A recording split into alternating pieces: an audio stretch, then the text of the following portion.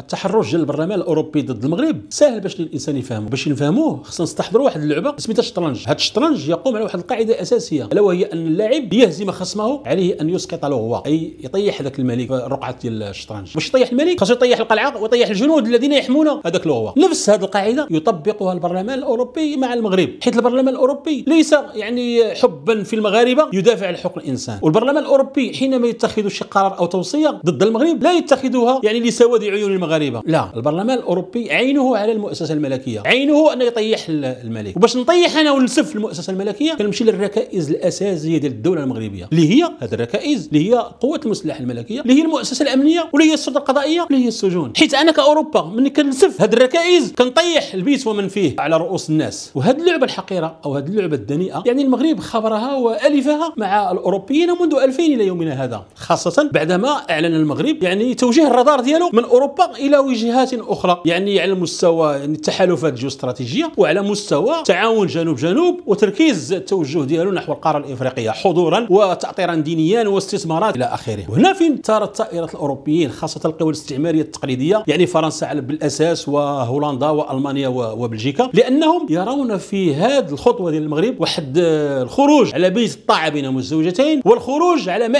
القوى الاستعمارية من أنها صاحبة الوصاية وصاحبة القرار لهذه الدولة أو تلك لتتخذ هذا القرار أو ذاك. المغرب يعني منذ 2000 إلى الآن كما قلت يعني حاول أن ياخذ واحد مسار بعيد على الوصاية ديال الأوروبيين وهذا ما اغاضهم وهو ما ولد واحد المجموعة ديال الدسائس اللي المغرب كله خرج منها منتصر حسب الإشارة إلى بعض المحطات السوداء الكبرى في علاقة المغرب مع أوروبا. ما نساوش الأحداث ديال 2008 اللي عاشها المغرب والدور الخبيث الذي لعبته الأذرع الإعلامية والسياسية والجمعويه ديال أوروبا في 2008 ما نساوش الدور الخبيث الذي لعبته أوروبا في الأحداث ديال كريميزيك في 2010 في العيون وما نساوش الدور الخبيث الذي لعبته أوروبا في ربيع الزفت العربي في 2011 وما نساوش الدور الخبيث اللي لعبته يعني الاذرع الإعلامية والجمعوية الغربية في 2013 حينما طرحت مسألة ديال توسيع صلاحيات المينورسو ما نساوش الدور الخبيث الذي لعبته أوروبا في تحيين الاتفاقية الفلاحية ما بين المغرب وبين أوروبا في 2015 وفي 2016 ثم ما نساوش الدسائس الخبيثة ديال الأوروبيين في آه، عملية الكركارات الأولى في 2017 صحيح؟ الجزائر كانت هي المتورط المباشر. في الكركارات الأولى ديال 2017 ولكن حنا كنعرفوا الجزائر يعني تتحرك بالوكالة. يعني ال télécommande ديال الجزائر كاين في فرنسا وبالتالي المغرب خرج منتصرا ولم تتمكن أوروبا من تركيع المغرب. لكن السعار سيشتد أكثر لدى الأوروبيين بناء على القرار ديال المغرب العودة إلى الاتحاد. باش نفهموا هذا السعار خاصنا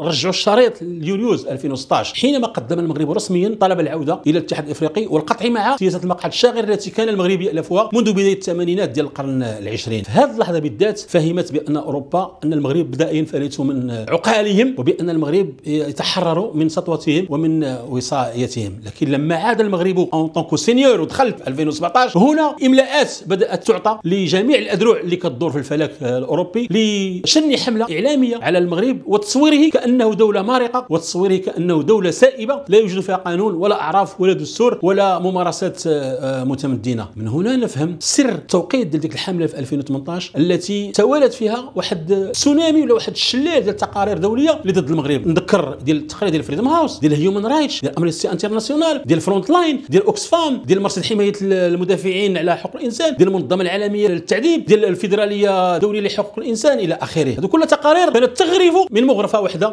وتكتب بمحبرة واحدة الا وهي المحبرة الأوروبية لتسويد صورة المغرب ولحمل المغرب وابتزازه ليدخل ويعود إلى بيت الطاعة. ولكن المغرب لم يتمكن لهم ذلك. الطامه الكبرى التي أصابت الأوروبيين في مقتل هي محطة دجنبر 2020 حين اعترفت الولايات المتحدة الأمريكية كأكبر قوة عسكرية واقتصادية في العالم بمغربية الصحراء. هنا فهمت يعني أوروبا بأن المغرب تحرر بين قوسين اطلاقا من هذه الوصايه الأوروبية وبأن هذا l'axe ديال الرباط واشنطن سيزعج المصالح ديال الأوروبيين. ولا ننساو بأن هذه الفترة بالذات أوروبا خرجت ضعيفة بعدما يعني انسحبت بريطانيا من البريكسيت وتسبب لهم ذلك في واحد الوجع الذي لم تستفق بعد منه الدول الأوروبية. من هنا نفهم الحملة التي شنتها أوروبا بعد اعتراف الولايات المتحدة الامريكيه بمغربيه الصحراء عن طريق الترويج بأن المغرب يتجسس على الشخصيات السياسية والإعلامية والنيابية في أوروبا عبر استعمال البرنامج ديال بيغاسوس والذي ثبت بأنه مجرد فزاعه لتخويف المغرب وابتزاز المغرب. ولكن هذا الشيء يعني بالرغم من هذا السوداوي اللي رسمنا على العلاقة ما بين المغرب وما بين أوروبا ما تنساه الأوروبيين هو أن هذه الحملة وهذه الدسائس المغرب يصدق عليها ما قاله الملك في إحدى الخطب ديالو إن لم تخن الذاكرة في غشت 2021 رب ضرة نافعة. يعني آه، لأن هذه المؤامرات وهذه